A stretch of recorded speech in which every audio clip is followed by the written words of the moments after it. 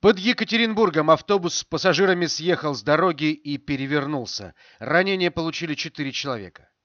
Как рассказали пассажиры этого автобуса, это был самый первый рейс из города Реж в Екатеринбург по маршруту номер 816 отправлением в 4.40 утра.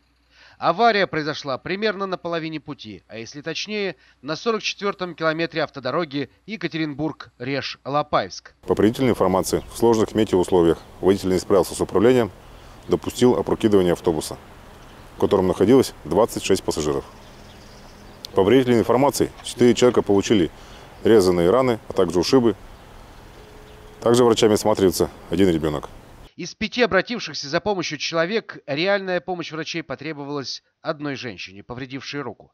По словам очевидцев, за рулем автобуса Павловского автозавода находился один из самых опытных водителей Рижевского автопредприятия, принадлежащего Леону Джалалову. Альберт, так зовут шофера, много лет проработал на междугородных линиях и никогда ранее в крупные аварии не попадал. По словам мужчины, ретранслированным в соцсетях его родственниками, погода для езды была ужасна.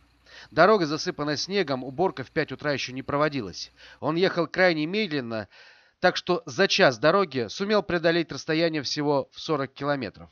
А подвела его кочка. Автобус подпрыгнул на возвышении и потерял сцепление с дорогой, которая так и не восстановилась после повторного касания колесами снега.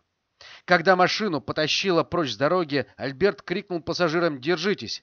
Вряд ли все услышали этот призыв, так как в 5 утра половина салона спала.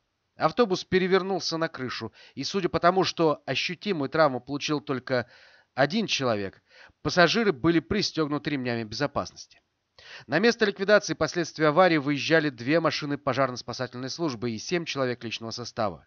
Людей из перевернувшегося автобуса довезли до Екатеринбурга попутным транспортом. Попавший в аварию ПАС, по словам режевлян, был самым старым в автопарке автобусом с протекающей крышей. Вероятно, его ждет списание.